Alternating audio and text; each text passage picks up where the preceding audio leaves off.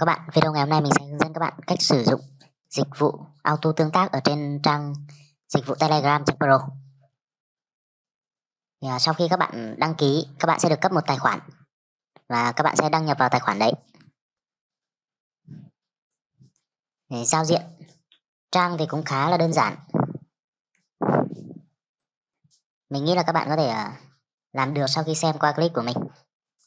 Và việc đầu tiên các bạn cần làm đó là copy link group của các bạn. Mình sẽ sử dụng group test để cho các bạn dễ hiểu. Các bạn copy link của group.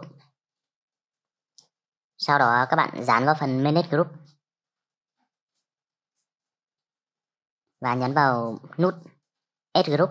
Thì tại đây nó hiện tên group cũng như là ID và bước tiếp theo các bạn tạo cho mình một file Excel, gồm có số thứ tự user content ID group và thời gian để bot hiện uh, tương tác? Nội dung content thì các bạn có thể ờ, tùy ý đặt.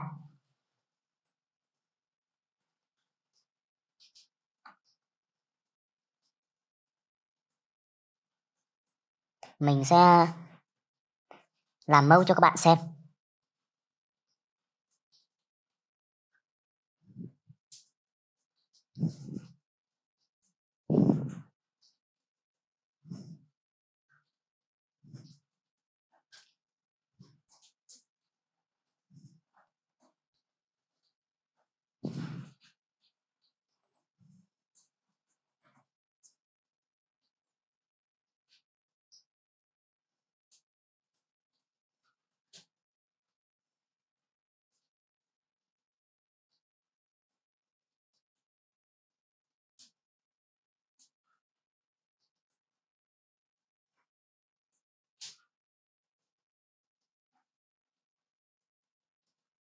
Tại cột user thì ờ, các bạn nhập số thứ tự của tài khoản.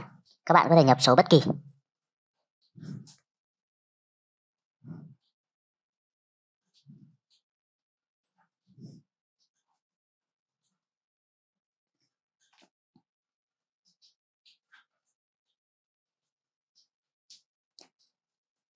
Sau đó các bạn copy phần ID hiện lên ở trên trang auto tương tác và dán vào cột ừ, group ID.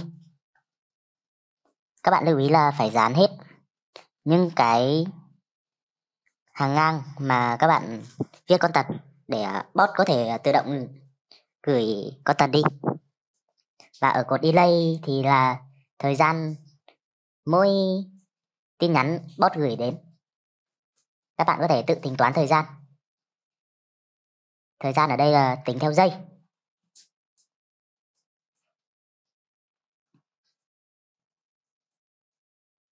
Sau khi các bạn ừ, tạo bảng xong thì các bạn lưu lại.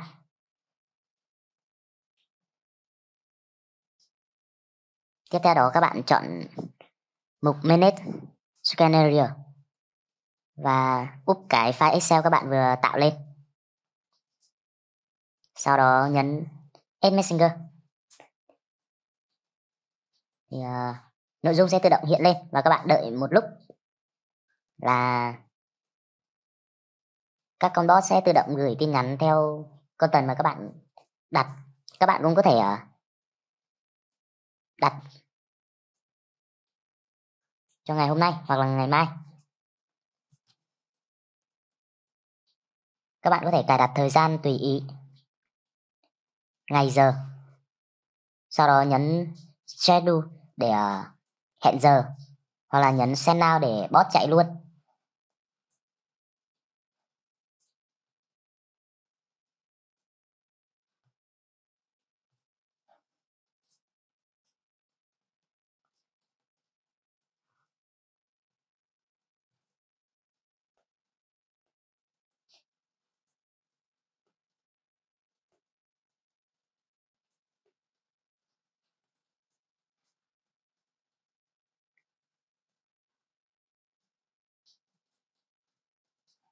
Đó như các bạn thấy thì uh, bot bắt đầu gửi các content mà mình đã setup tự động.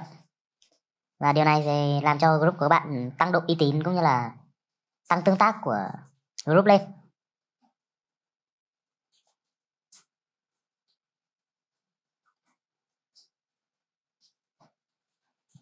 Video của mình kết thúc tại đây. Hẹn gặp lại các bạn ở những video sau.